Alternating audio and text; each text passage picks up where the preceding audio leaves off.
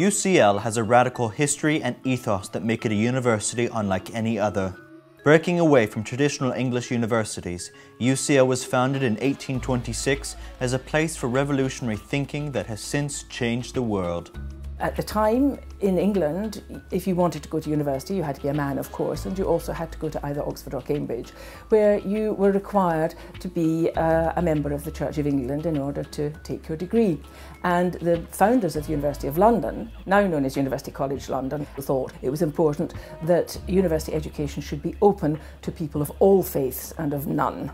As a secular institution, UCL was the first university in England to admit women, Catholics, atheists, and Jewish students and staff. A legacy that has shaped many UCL departments, particularly the Department of Hebrew and Jewish Studies. UCL has the merit, uh, as a result of the set of liberal principles on which it was founded, uh, of being not only the first academic institution to admit Jewish students on an equal basis, but to me, much more significantly, to appoint from the very beginning at the foundation a professor of Hebrew who was a Jew. And from then on, this department uh, was uh, distinguished by teaching the language and the culture in a completely non-denominational context. It was very small when it first began, but has grown to be the largest department uh, of its kind, certainly in the United Kingdom, and I think uh, it would be accurate to say also in Europe. The radical ideas that founded UCL are still alive today. The cultural diversity of students and staff reflects in the range of world-renowned academic disciplines. Situated in the heart of the most cosmopolitan city in the world, UCL is comprised of over 29,000 students and staff from 140 different countries, all bringing with them their unique ways of living, working, and studying. UCL has the most um, union societies of any university in, in, in, the United Kingdom, so a major part of that is the faithful societies.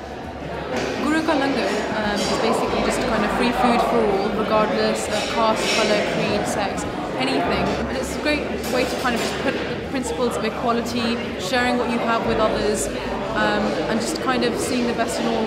So here we are sharing what we have with everyone at UCL, um, and hopefully everyone enjoys it. The food's been amazing. It's quite interesting about the significance of all of it, and yeah, the food's pretty good.